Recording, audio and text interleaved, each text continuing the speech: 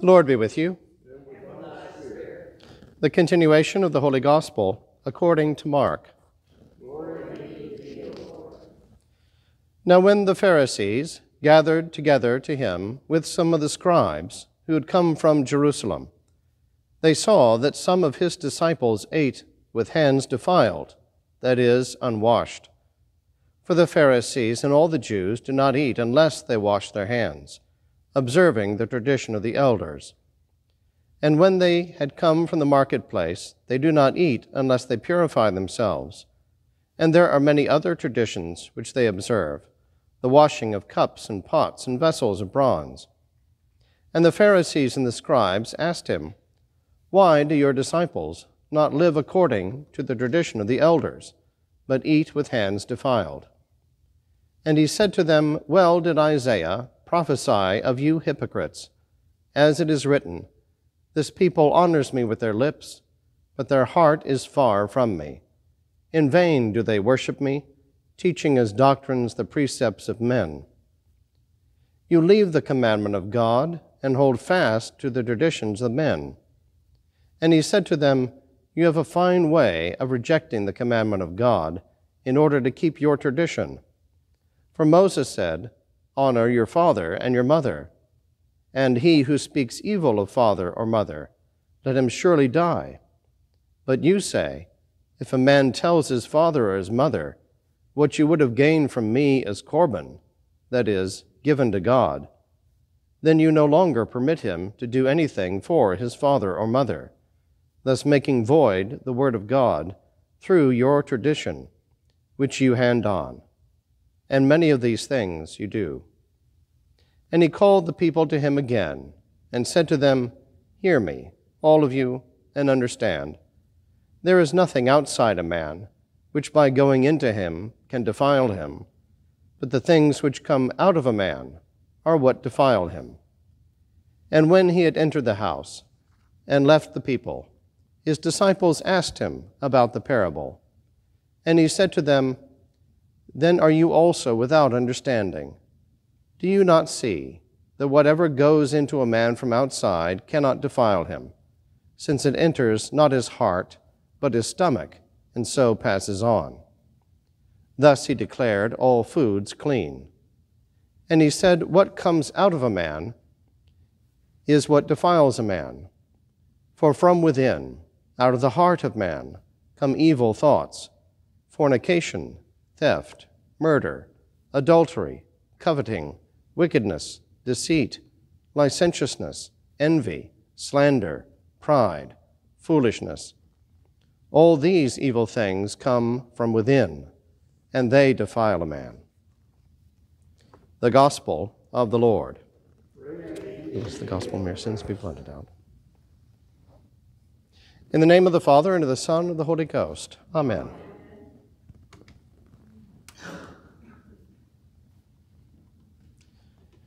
You can't see the forest for the trees. No one is exactly sure where that expression originated.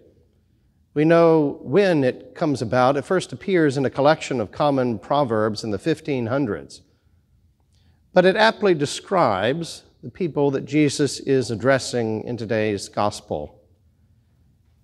The idea that someone can't see the wood for the trees, as the British version goes, is a reference to getting so bogged down in the minute details of a situation that you simply lose sight of the larger picture. The expression beckons a person whose vision is so obscured to step back from the situation and regain a wider perspective. We have to realize that for anyone, it's very easy to get bogged down in the minutiae and to lose sight of the big picture. And we should understand that this particular purification ritual that's mentioned was an accepted part of Jewish life and taught by venerable rabbis, but not actually a matter of divine law, the Torah, the law of Moses. Now, in Exodus 30, there are two references to the priests washing their hands and their feet before offering sacrifice in the temple.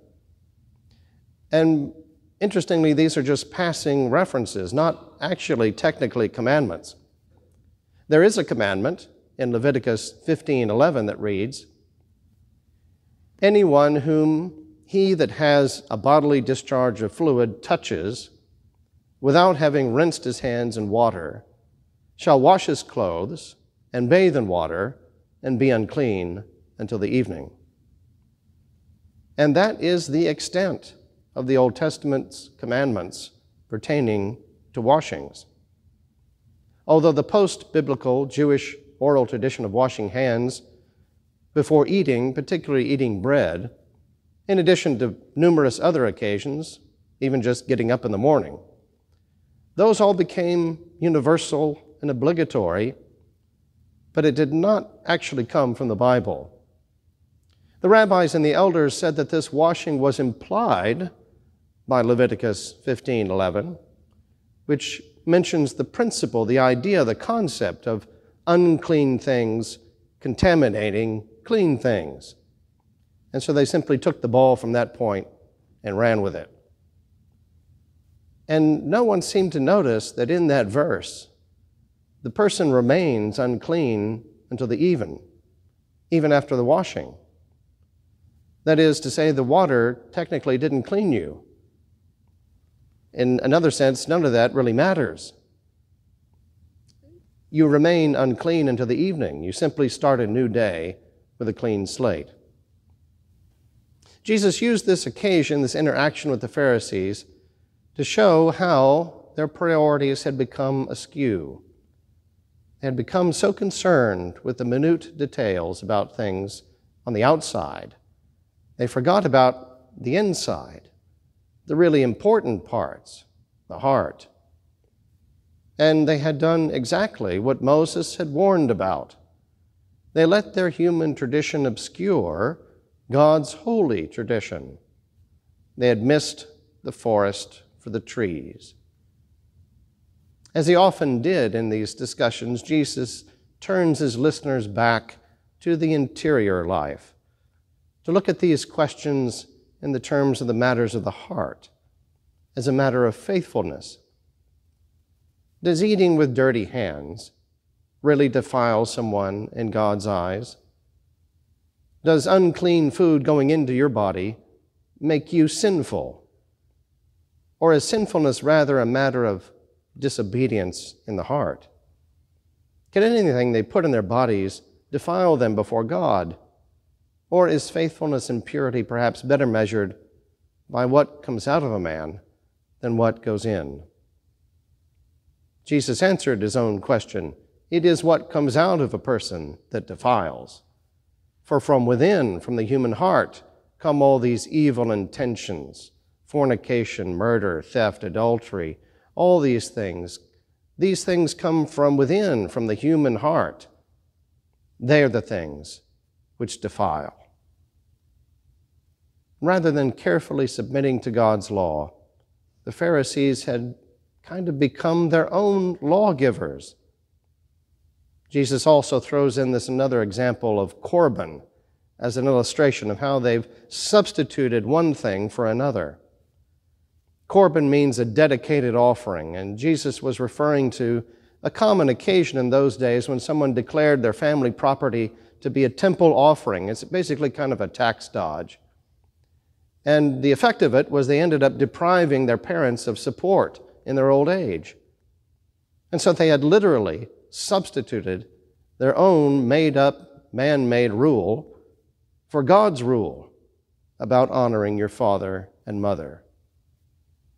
But in a sense, sin is always about substituting your own will for God's will. And these rules about hand washing were all about the idea that the bad stuff is out there. So I just need to keep that stuff from getting in. Because the corruption surely couldn't start from within. Now, of course, to be sure, there are plenty of things that you can ingest that are harmful. There are plenty of toxins that you can take in that will damage your health. And there are plenty of things you can take into your life drugs, gambling, porn, drinking, stealing, All these things that pollute your soul, of course. But even then, the morality of those things is not so much out there as it is in here, the human heart, where the moral decision takes place, where you decide to turn away from God and turn instead away to seek pleasure instead. The impurity comes from within, but it doesn't have to be that way.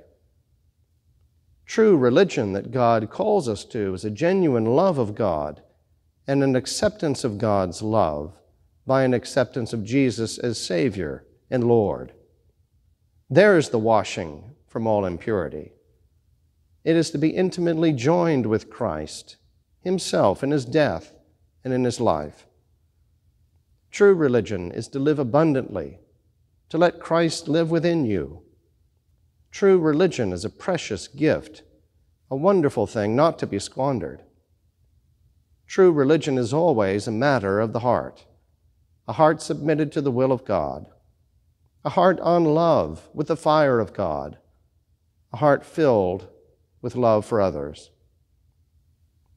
Jesus saw their hypocrisy, and it reminded him of the way Isaiah once recorded it in an oracle from God. These people honor me with their lips, but their hearts are far from me. Is your heart far from the Lord? Or does Jesus dwell richly in your life and in your heart? Invite the Lord into your heart anew every day. In the name of the Father, and of the Son, and of the Holy Ghost. Amen.